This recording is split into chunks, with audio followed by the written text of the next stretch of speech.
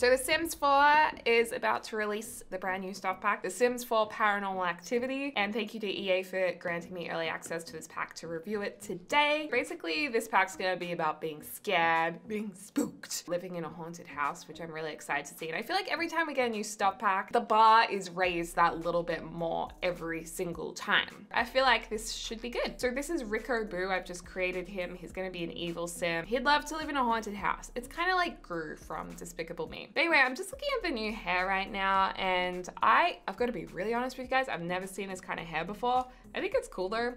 And then we have this hair as well, which we saw in the trailer, trailer, trailer, Really, really like it. Anyone can rock this hairstyle. Then there's this one as well. I love it. I think it's fun. I'm not as much into the fringes personally, and I can see a little line here. Is that line on everyone's game? Or maybe it's just my graphics card. Uh, and then there's this hair as well, which is very pretty which is very pretty. So obviously this is listed as a female hair, so you can see it on a female sim. I think the easiest way to make someone look evil is just furrow their eyebrows, which is a real shame because if you have furrowed eyebrows, you're kind of, I'm sorry, you're just gonna look evil. We'll give them a longer head because people always say that my sims have really short heads we need to fix that. So there we go. This is our sim, Rico. Good old Rico. There's no new facial hair. However, there is a new hat, which I did not expect. So It looks like we've got one to unlock here. Survive seven nights in a haunted house. Oh, that's cool. There are these necklaces as an accessory, which do not really fit over this jacket. So I did see this in the trailer. It's just like layered, beaded necklaces. Pretty cool. And then in terms of makeup, I doubt there's any new makeup in this pack, but we can check it anyway. No. In terms of outfits, we have this here, which this is definitely giving me like more 70s boho vibes. Uh, I have to say, I really like this top. And then there's this, again, getting that 70s vibe, a lot of geometric patterns, florals. But then again, you have this more like contemporary looking jacket that's a bit more tailored. Really like that. And then there's a shorter version with a vest as well. So it's pretty cool. I'm, I'm seeing a lot of layers. What's with the shirt here? Is that because we have the necklace on? Oh, it's just the necklace clipping, right. So bit disappointing. I feel like the necklace should have been tested to sit cleanly under the shirt in the same pack. Little extra eye for detail, I think may be needed for that. Uh, there is a full outfit that you unlock as well with the hat. It looks like you unlock it at the Seven Nights in a Haunted House as well, so I'd be very curious to see that too.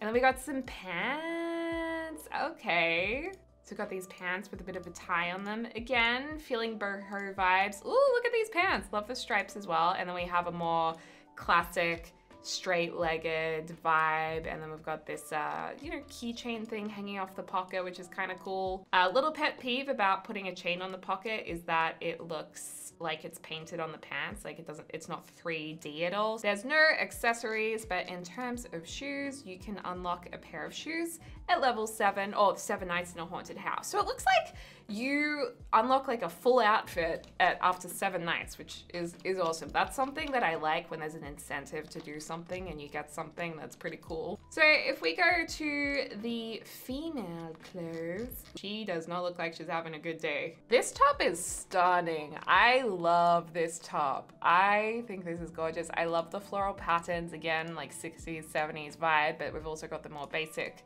swatches as well. But I think this is absolutely gorgeous and definitely something that I'm gonna use a lot. And then we also have this top as well, which is pretty, you know? And then in terms of bottoms, oh, I love these shorts. So these are awesome. They come in different colors as well. They come in, oh, stop it. You can match this top to the shorts. Wait, you can match the color of this top, I think, to the shorts. Oh, that would have been really cute as a matching top. You can match this top to the shorts though. So that's really cute. We love a little matching moment, you know?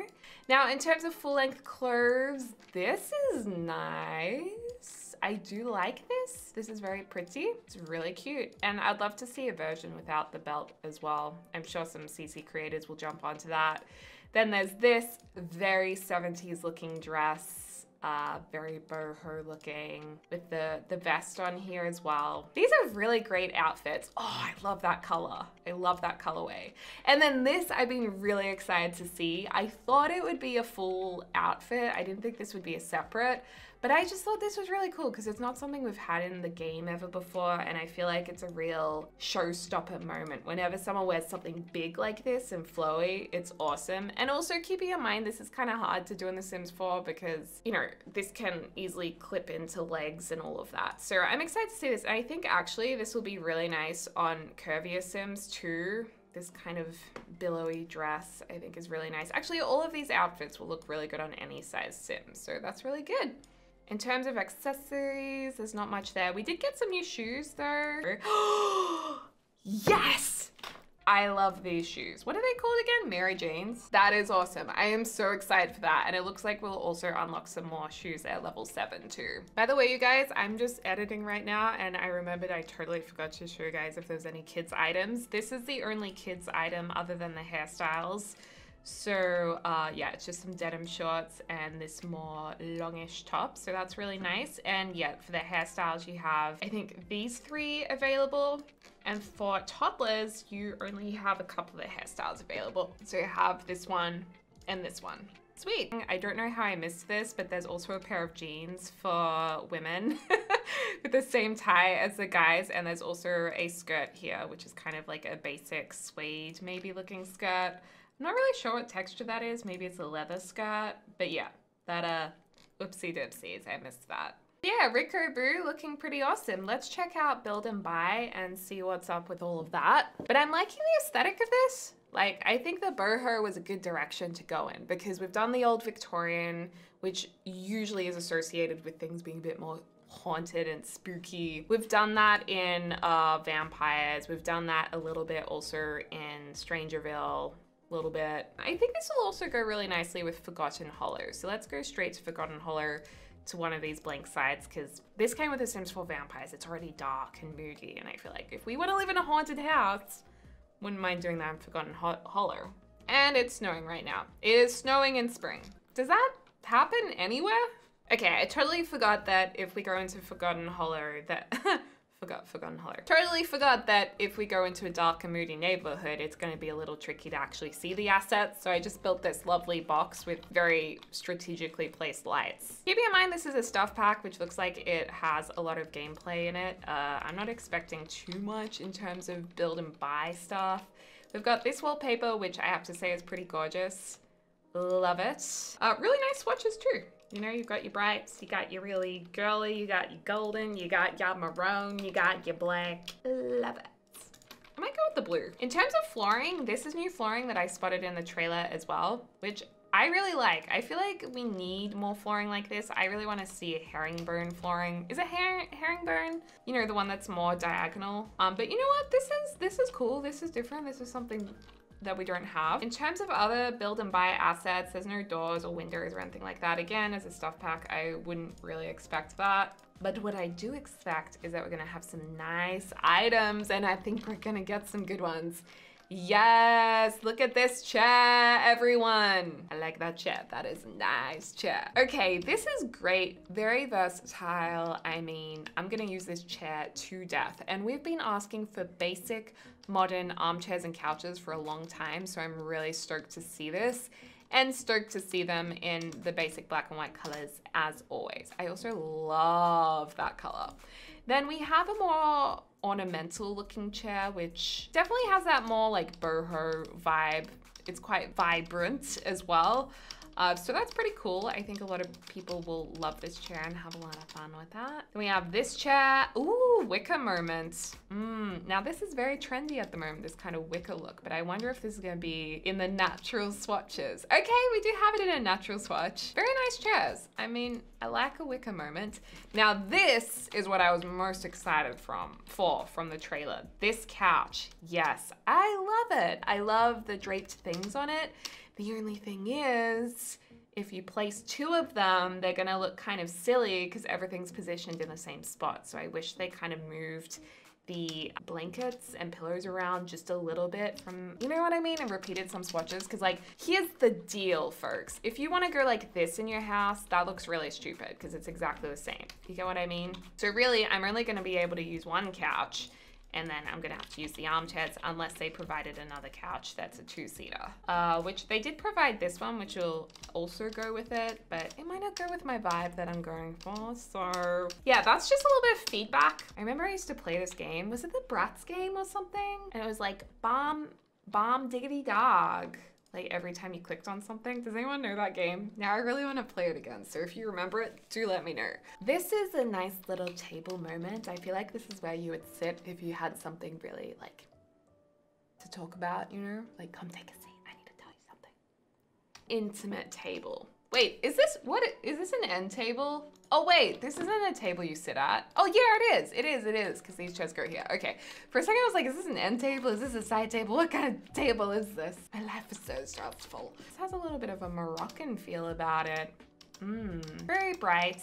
And you know what? This also reminds me of some of the items in the movie Stuff Pack, which was very boho, very vibrant there. I felt like it was a bit too bright at times for my liking, but uh, I think people will love this and I'm obsessed with this table. Where did this table come from? I have no idea, but I am into it. This is like the seeing eye table, but this looks so bougie. Like this can go with your Get Famous gameplay or your city penthouse and looks so good or we can make it look really creepy. So I'm into that. Ooh, nice. This is cool. I've seen that in the trailer. What is this?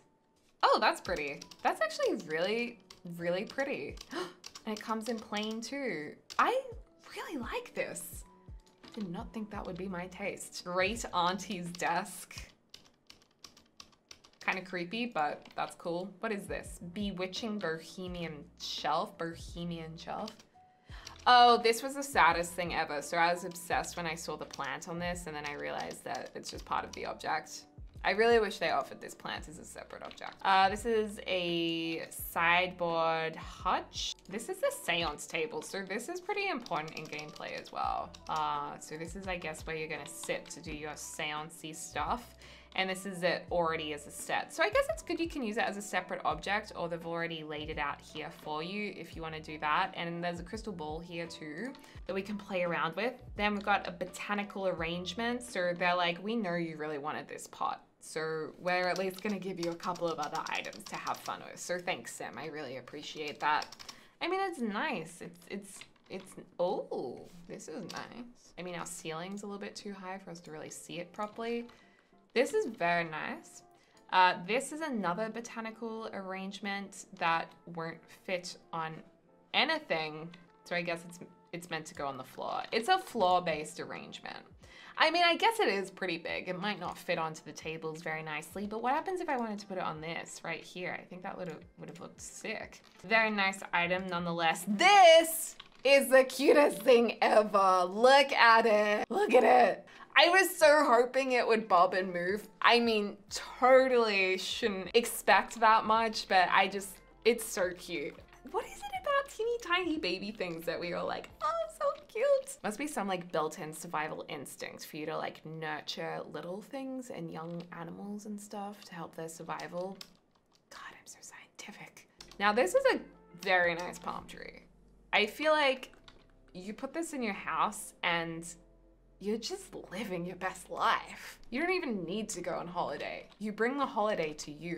This is nice too. It's kind of creepy. Um, and I think this guy, the Johnny Depp guy, is the guy that's gonna help us you know, with the seance stuff. Love the mother down here. Okay, we've also got some more paintings of Johnny Depp. I think whoever made this was a big fan of Johnny Depp. His real name's Cloud, so I mean, there's gonna be, a lot of clouds around. Is this how we... Oh, he's a paranormal investigator and beloved flirt from 1880 to 1920. Interesting. I hope we can get together with him. Perished in an untimely Murphy bed accident. Okay, that's pretty funny. Then there's this, which is awesome. Temperance's Manor. Hmm, love that. I wonder if that's a build in the game. Okay, then we have these curtains, which were also in the trailer, which are pretty cool. The thing is, I wish there was like a rod to kind of make them look connected and like they slid across. But they, these are nice with the beads. kind of feels like you're going to see a fortune teller. This is just like a random bird who's loving life. This is the crystal ball, very important. This is the creepy Sigma strong hand, which I think is very auspicious. I quite like this. I feel like this is a clutter item I'm gonna use all the time. What is this? The occult marking scares me, but that's cool. How did I already spend 50 grand? I did a motherlode earlier. I need a motherlode again. This stuff is expensive. This pack will send your Sims broke. This rug, I'm into rugs and I, I definitely like this colorway the best. I was kind of hoping for a bit more variety, but you know what? I'm happy with that. That's a good that's a good start. Fireplace, it's a little ornamental for me. I could have done without these curves on every swatch, but hey, it does suit the pack. Good merger, mac macrame. You know, macrame has been a really big thing uh, the last five years. You know, everyone loves the macrame. I don't because they gather lots of dust. That's nice. Why am I getting out a kitty litter? What else have I missed here? We've got some new sconce lights. Oh, nice. Oh, and then we have an extra clutter item here, this teapot. Tea time. I feel like this would have suited um, the last expansion pack more, just because it has that Japanese tea look about it. And it makes me wonder, I wonder. It's probably unlikely, but I'm like, I wonder if they were like working on this for the other pack. And then they're like, oh, maybe we'll put it in this box. Because I feel like it's kind of random. Unless I'm missing like a seance tradition that involves tea. Or maybe it's just boho. I don't know. I'm just creating conspiracy theories to stir the pots. and this is cute. This looks like it's got little legs and it's gonna run away. This is just a fun little lamp. And of course, these, the suspense suspended lights, ha ha ha, these are very pretty. I do like them. I think I'm actually gonna use these a hell of a lot. So in terms of build and buy, uh, there's not a whole lot, but I think that's because there's gameplay in this stuff pack. Usually stuff packs only had stuff in them, not really gameplay except for maybe an item that opened you up to some new gameplay, but this this actually is gonna be more than that. Now I'm also assuming there's gonna be some pre-built rooms, which would be great uh, because we're gonna be, you know, doing a little bit of paranormal activities. So we have two pre-made rooms. This one is the eccentric eclectic sitting room, uh, which is really nice. I always love seeing how they've done the rooms because it shows you the possibilities of what you can do with the new items and you can get a lot of ideas from that. Let's uh, buy this room. I'm just gonna place that right here. So that's pretty awesome. And then this one is Lady Raven Dance's Seance Parlor. Oh, I love that. Okay, so this is the seance room. So maybe we can put that here. I know the rooms look a little awkward just like this, but I want to check out the gameplay. Hey, um, how do we, I don't, wait, how do we even, how do we do anything in this pack? Should we look at pictures of um, Gilderoy Lockhart? Maybe we just have to look at the painting of him. I feel like this painting of him is pretty significant. No, I don't feel like Batu right now. Okay, viewing the painting doesn't work. What about if we click on the seance table. Sense spiritual vol vol volatility. Sense how haunted the current lot is. Commune with the departed. Speak with the dearly departed. Maybe they'll offer some wisdom. Oh, I wonder if there's a new lot type. Is this, do, can we make this into a haunted house? haunted house residential. There is something special about this place. While living in a haunted house adds an extra bit of risk. It's not without its rewards. Just a fair warning, things are gonna get weird. Good luck. Okay, let's definitely do that. What else do we need? oh, lot features? Okay. Oh, right. So you have to select the lot type and then you can get the Gildry the Ghost. You can get the Spectres. You can get Haunted Treasure. Huh, specters have all sorts of strange valuables on them. Paranormal activity, things get weird around here, especially at night. Your Sims will definitely take notice. Accursed objects, occasionally strange artifacts find their way into your house. Keep your eyes peeled. Is alive. Try keeping the entities of the house on your good side. Be brave. Each successful night yields reward store points for all Sims. Aspiring investigators welcome. Become a paranormal investigator with the help of Gildry. She's coming for you. What is this? I don't I don't think there's any extra traits, but these are just like lot features. Okay. So that's how you how you live on a haunted house lot. But I don't know, like, is he just gonna rock up?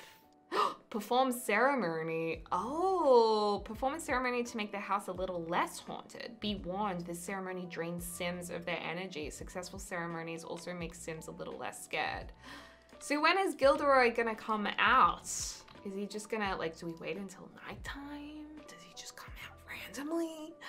I don't know you guys, but I'm really curious to see. That's cool. Well, what I may do is I might leave this video right here and then I'll release another gameplay video exploring it all. So keep an eye, eye out for that. Subscribe if you haven't already. Smash the like and the bell to know when I upload. And we will get dressed into our nightgown with a candlestick and check out the pack. Um, and also find how to get Gilderoy Lockhart to come out.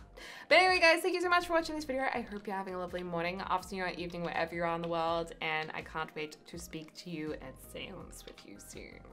Mwahaha. Okay, bye.